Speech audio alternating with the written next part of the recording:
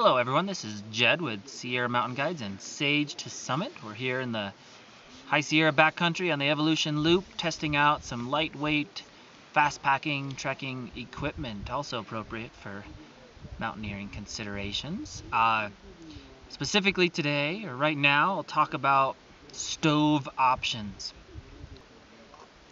The early benchmark for lightweight backpacking stoves was the MSR Pocket Rocket. Screws onto a pressurized fuel canister and uh, super minimalist. Um, but you're restricted and, and and puts out a lot of heat, but you're restricted to using canisters of, of various sizes. Uh, but the smallest ones available are, are often too big for, for short trips. And then along came the Jetboil, which integrated a canister stove with a insulated pot and a, a, heat exchanger to jack up the efficiency. And it seems to be about twice as efficient as a as a pocket rocket. Um, but it's a bulkier system. Once again you're you're confined to using these pressurized canisters one time use type of thing. Uh, these are wicked fast. If you're melting snow it's the way to go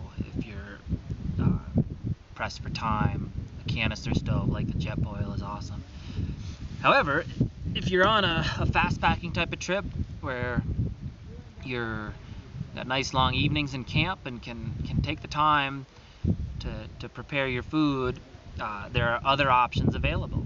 And these have kind of progressed in, in parallel with canister fuel stoves in terms of availability. And historically, even we use stoves like this.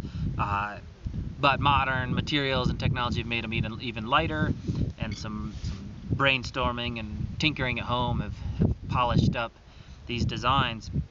Uh, this little guy right here is a Vargo titanium alcohol stove. It burns commonly available alcohol. Uh, hardware stores, um, automotive supply stores sell various alcohol products, flammable, um, for for other purposes, but it serves double duty as a fuel for these for a stove like this. This particular one has these little collapsing legs and it must weigh an ounce or two. Super light. Uh, needs to be primed. Needs to be protected from the wind. And you need a little bit of time. It takes some time to do it. But for a short trip, a few nights out, or the patient tinkerer, this is the way to go. Combined with a lightweight titanium pot, your, your entire cook kit can be mere ounces. And the fuel, it's fairly efficient on fuel. Work out your, your fuel allotment to manage the weight also.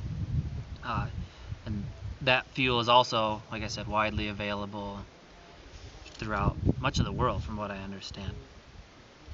Another option for very short trips, I'd recommend it, uh, is the some sort of solid fuel stove. This little white pellet is a is a solidified fuel of some kind. It's purpose built for for burning and, and heating your food up. This is a, a little titanium holder. It gives you a flame-proof platform on which to hold the tablet and a trio of pot supports to keep your pot above it. Uh, in an actual testing the other day, it took three of these tablets to boil three cups of water. Uh, and it took a fair amount of time and it blackened the pot. But if you're going out for a single night, say, a tablet, three, you know, three, four tablets, and this tiny little stove can be an extremely lightweight, super compact option for for a single night out. It'd be hard to recommend it more than that with the, with the complications and the soot that accumulates and the time it requires. But those short trips, you can't go wrong with something like this. So yeah, thanks for checking it out. Consider these options, and there's a there's the right stove for the right job.